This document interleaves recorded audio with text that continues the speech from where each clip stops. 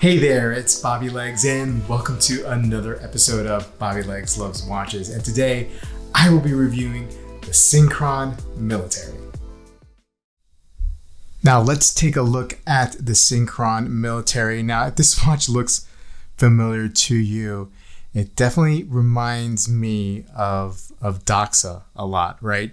And there's a good reason for it. Now, this is the new iteration of Synchron releasing the Synchron military, but the previous iteration of Synchron at one point owned Doxa.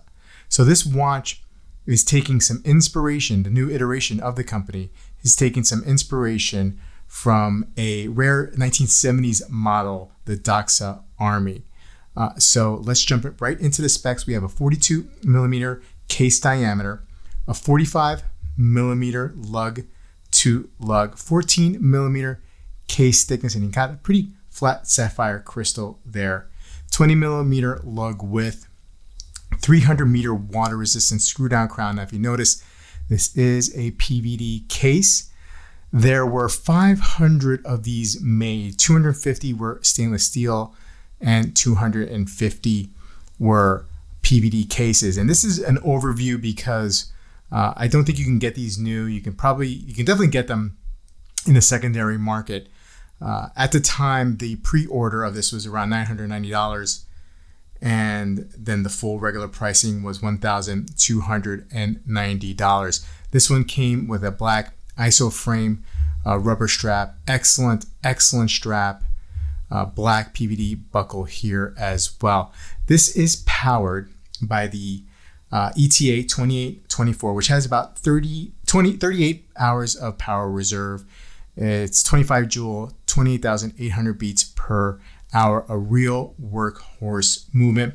Luminous sapphire insert in the bezel, uh, really audible, right? Loud action here with the bezel action, and it's very, very crisp. And and I I'm gonna put a link to a great article by Fratello Watches in here that gives a history of Synchron and Doxa. And they describe the bezel action as toothy and and I get it. I mean, it does sound sound very, very, uh, or feels very, very toothy.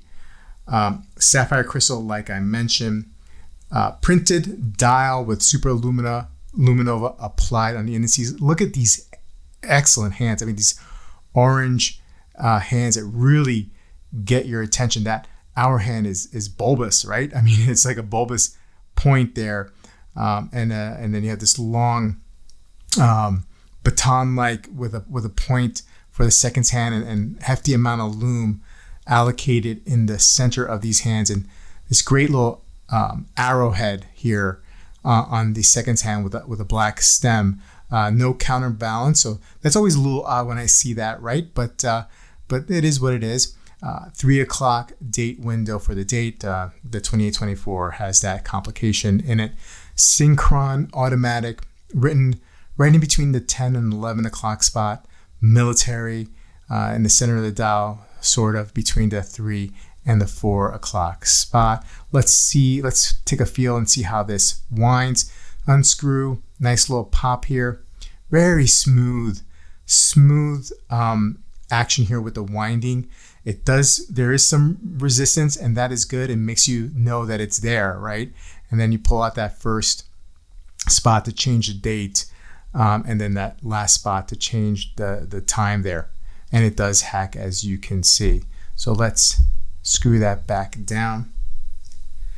Uh, so like I mentioned, you know, this is inspired by that 70s Doxa Army.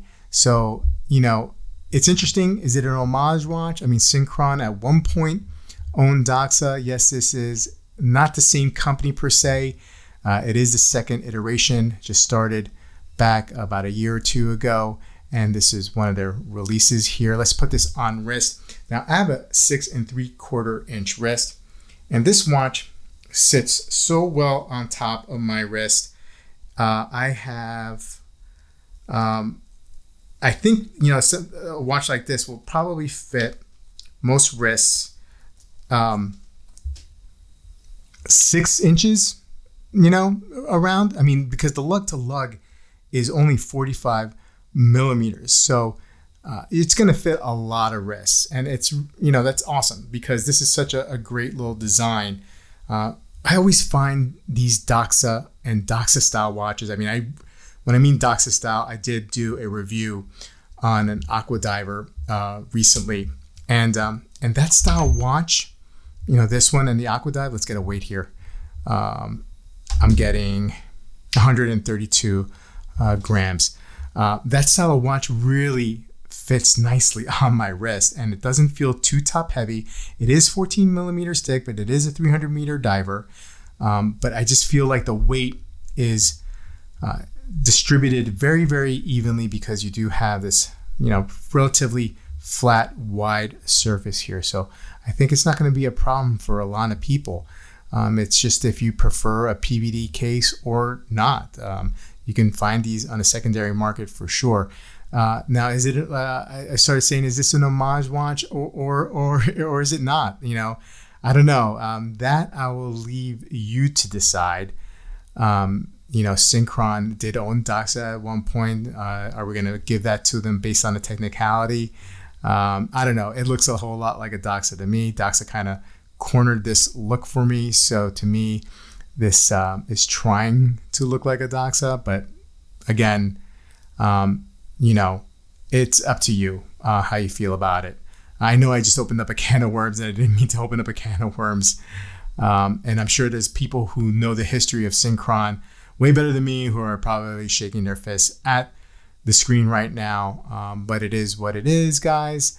Uh, you can read up all on the history of it at that and the link that I'm going to put in below. Anyway, let me know what you guys think. I, I like it. I like it. Um, I think it's a fun watch. I'm not a huge PVD case guy, but this is okay. I mean, I, I think I'm starting to come around with PVD cases anyway, because I did get Mrs. Legs a PVD coated 856 in UTC, and I, and I really dig it a lot too. But I think it matches very, very nicely with this isofrane strap. You can put this on a NATO and other rubber straps for sure. Uh, that shouldn't be a problem. I don't know if you're going to be able to find a bracelet for it.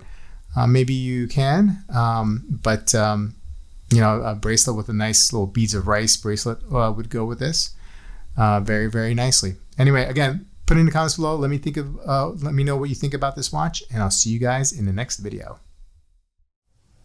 If my channel is new to you and you enjoyed this video, please like and subscribe and click that bell icon to get updates when I upload new videos. I love making these videos and I hope you like them too. And also, if you want to support the channel, please buy me a cup of coffee. The link is in the description. Take care and I'll see you in the next video.